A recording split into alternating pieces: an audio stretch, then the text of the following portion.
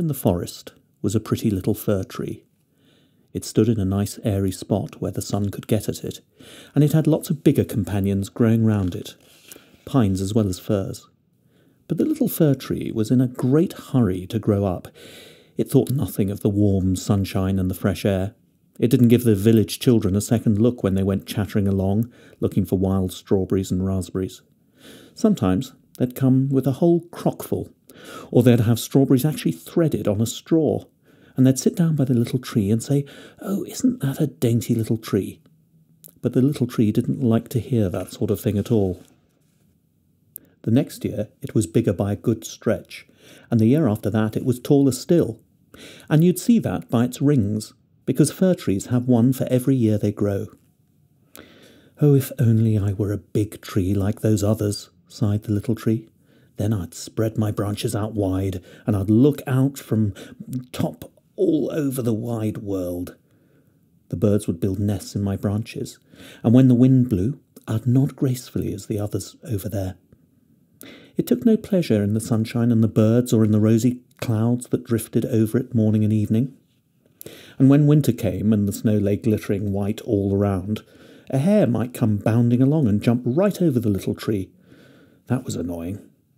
But two winters passed, and when the third came, the tree was so big that their hares now had to go round it. Oh, to grow, to grow, to get big and old. That was surely the only pleasure in the whole world, thought the tree. In the autumn, the woodcutters used to come and cut down some of the largest trees. It happened every year, and the young fir tree, who was now growing up very nicely, shuddered as the tall, splendid trees fell tearing and crashing to the ground. Their branches were lopped off, so they looked long and thin and bare. You'd hardly recognize them. And they were loaded onto wagons, and horses pulled them off out into the forest. Where are they going to, then? What would happen to them? In the spring, when the swallows came and the storks, the tree asked them, Do you know where they are taken? Did you meet them? The swallows didn't know anything about it. But a stork looked wise and nodded his head and said, Oh, yes, I think I know that. I met up with a lot of new ships when I was flying here from Egypt, and these ships had splendid tall masts, and I fancy that that would be them. They smelt like fir. I must say, they did you proud. Very smart they were, very smart. Oh, how I wish I were big enough to set off over the sea like that. But what's the sea really like? How does it look? Dear me, said the stork, that's far too complicated to explain, and he went away. Enjoy yourself while you're young, said the sunbeams. Enjoy yourself while you're growing, with all that life in you. And the wind brushed the tree with kisses, and the dew covered it with tears, but the fir tree just didn't know what they were up to. When it was nearly Christmas, some quite young trees were cut down, some of them neither so big nor so old as our fidgety fir tree, with all its need to be up and doing. These young trees, and they were altogether the most beautiful ones, kept all their branches when they were loaded onto the wagons and when the horses pulled them off out of the forest. Where are they going to? asked the fir tree. They're no bigger than me. In fact, there was one who was a lot smaller. Why do they keep all their branches? Where are they taken to? We see it, we see it, twittered the sparrows. We've been peeking in at the windows down in the town. We know where they're taken to. Oh, they get as rich and splendid as you can imagine. We've peeked in the windows and seen how they're planted in the middle of warm rooms and decorated with, with the most beautiful things golden apples, honey cakes, toys, and hundreds of candles. And then, asked the fir tree, trembling through its branches, and then, what happens then? Oh, we've not seen more than that, but that was beyond anything. Then maybe I'll be bound for a splendid trip like that one day, said the tree full of joy. That'll be even better than going over the sea. Oh, how I ache with longing. If only it were Christmas. I'm as tall now and as branchy as the others were who were taken last year.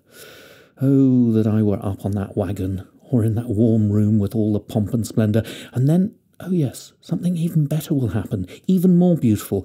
Why else should they decorate me? Something must happen that's even bigger, even better. But what? Oh, how I ache, how I long for it. I don't for the life of me know what's to come over me. Enjoy yourself with me, said the air and the, and the sunshine. Enjoy being young outside in the open air. But the fir tree didn't enjoy such things in the least. It grew and it grew. Winter and summer, it stood there all green. All dark green it stood there, and people who saw it said, What a lovely tree. So when Christmas came, it was the first one of all to be cut down. The axe cut deep into its pith, and the tree fell to the earth with a sigh. It felt a pain, a faintness. It couldn't think about being happy. It was saddened to be leaving its home, its place, where it had its roots. Now it knew that it would never again see its dear old friends, the little shrubs and flowers around about, perhaps not even the birds. No joy in parting like that. The tree only came to its senses when it was unloaded in a yard with the other trees, and it heard a man say, That's a beauty. We don't need any but that. So a couple of servants in full livery came along and brought the fir tree into a big handsome room. Portraits hanging all round on the walls, and by the big tiled stove stood big Chinese vases with lions on their lids, and there were rocking chairs, sofas upholstered in silk, big tables covered with picture books, and toys worth a hundred times a hundred pounds, or that's what the children said. And the fir tree was set up in a big tub filled with sand, but you couldn't see that. It was a tub because they hung it round with green baize and stood it on a broad, many coloured carpet. Oh, how the tree trembled! What was going to happen now? The servants and the young ladies of the house came and decorated it. On one branch they hung little nets, cut from coloured paper, and every net was filled with sweets. Golden apples and walnuts hung down as if they grew there, and more than a hundred red, blue, and white candles were fastened among the branches. Dolls, which looked like real people, the tree had never seen such things before, swung among the pine needles, while right at the top there was a big star made of golden tinsel. It was all marvellous, unspeakably marvellous. This evening, said everybody, it'll sparkle this evening. Oh, thought the tree, if only it were evening, if only the candles were lit. And what will happen then? Perhaps the trees will come out of the forest to see me. Perhaps the sparrows will fly to the window panes. Perhaps I shall stay growing here and keep my decorations summer and winter alike. Oh, yes, the fir tree knew what was going on, but it was a real barkache from all this longing, and a barkache for a tree is as unpleasant as a headache for the rest of us. And now the candles were lit. Such brilliance, such splendour. The tree trembled through all its branches, so much that one of the candles set fire to its needles, very painful. Lord save us, cried the young ladies, and they put the fire out. Now the tree didn't dare tremble. Oh, that was horrible. It was so afraid of losing any of its decorations. It was altogether dazed by all the brilliance. And now the double doors were opened, and a whole crowd of children rushed in as if they wanted to upend the whole tree. Their elders followed a bit more sedately. Then the little ones stood quite still, but only for a moment, before they shouted till the room rang and danced around the tree, and one present from another was taken down from it. What are they doing now? thought the tree. What's going to happen? And the candles burnt down to the branches, and after they'd done that, everybody put them out, and the children were allowed to plunder the tree. Oh, how they plunged in to do that! So that its branches groaned, and if it hadn't been fixed to the ceiling by the tip, where the gold star was, it would have toppled over. The children danced round with all their lovely toys, and nobody bothered about the tree except for an old nursemaid who came and peered in among the branches, but only to see if anyone had missed a fig or an apple. A story, a story, shouted the children, and pulled a fat little man over to the tree. He sat right down beneath it just as if we were in a greenwood, he said, and the tree can have the singular good fortune to hear it as well. But I'm only going to tell one story. Do you want to hear the one about Henny Penny, or the one about Clumper Dumper, who fell downstairs but still rose to be the highest in the land and married the princess? Henny Penny, cried some. Clumper Dumper, cried others, and there was a lot of yelling and shouting. Only the fir tree stayed quite still, thinking, Shall I be in it? And the man told the story of Clumper Dumper, who fell downstairs but still rose up to the, be the highest in the land and married the princess. And the children clapped their hands and shouted, Tell it again! Tell it again! And they wanted to have Henny Penny as well, but they only got Clumper Dumper. The fir tree stood there quietly, full of its own thoughts. The birds out in the forest had never told a story like that. Clumper Dumper fell downstairs, but still got the princess. Ah, yes, ah, yes. Such things can happen in the world, thought the fir tree, and believed it all true because it was such a nice man who told it. Ah, yes, ah, yes, who knows? Perhaps I will fall downstairs too and marry a princess. And it looked forward happily to the next day when it would be decorated with candles and toys and golden fruit. I won't shiver and shake tomorrow, it thought. I shall really enjoy being so splendid. And what's more, I'll be able to hear the story of Clumper Dumper again tomorrow, and perhaps Henny Penny as well. And the tree stood quiet and thoughtful the whole night long. Next morning, in came men and housemaids. Now, we're back to decorating, thought the tree. But they dragged it out of the room, up the staircase, into the loft, and there they stowed it in a dark corner, away from any chink of daylight. What's the meaning of this? thought the tree. What do you think I'm doing here? What do you think I'll listen to here? And it leaned up against the wall and stood there thinking and thinking. It had plenty of time for this as the days and nights went by. Nobody came up there, and although someone did come eventually, it was only to stow some big tea chests in the corner. The tree was quite hidden, and you'd think it was totally forgotten. It's winter out there now, thought the tree. The earth's hard and covered with snow. The people can't take me out and plant me, so I suppose I'm to shelter here till spring. That's a kindly thought. How very kind these people are. If only it weren't so dark here and so horribly lonely. Not even a little hare. Oh, it was so nice out in the forest with the snow on the ground and the hare jumping past. Yes, even when you jumped over me, although I didn't like it at the time. But up here, it's horribly lonely. Beep, beep, said a little mouse just at that moment and crept forward, and another little one followed. They sniffed at the fir tree and crept in amongst its branches. Oh, it's beastly cold, said the little mice. Otherwise it would be a fine place to be. Don't you think so, old tree? Not so much of the old, said the fir tree.